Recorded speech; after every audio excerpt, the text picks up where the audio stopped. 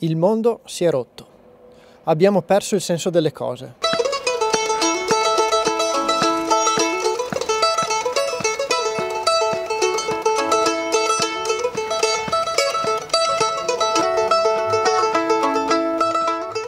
Ci chiudiamo nel silenzio artificiale della nostra musica senza sentire quella che il mondo suona per noi.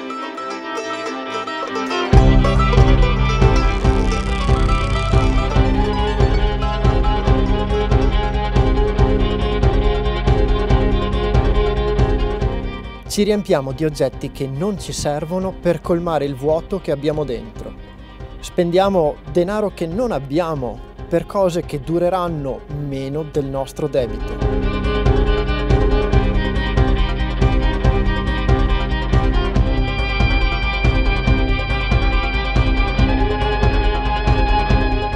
Siamo costantemente connessi, interfacciati, collegati, eppure sempre più soli.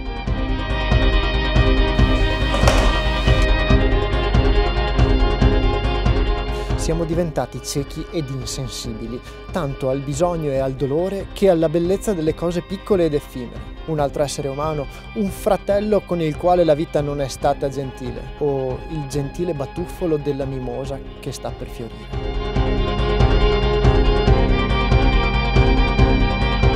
Oppure il calicanto, per esempio, pianta coraggiosa che mette quei fiori meravigliosi e profumati quando tutto attorno è freddo e spoglio.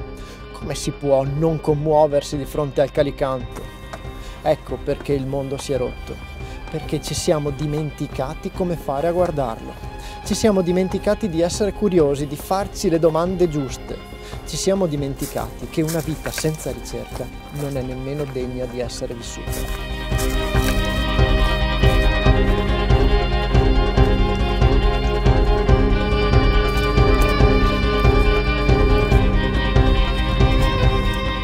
C'è un posto da cui tutto questo si vede, chiaro, limpido e nitido.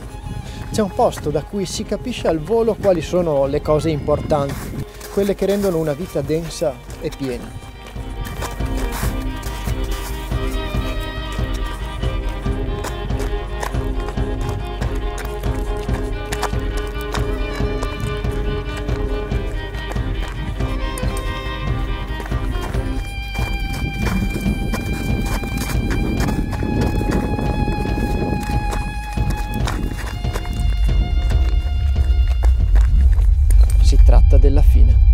Solo davanti ad essa, alla nostra fine, siamo capaci di distinguere le cose fondamentali dai mille palliativi dell'esistenza.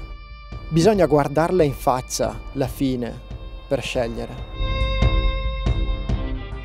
Perché l'umanità non sarà perduta finché non avremo perduto la nostra umanità.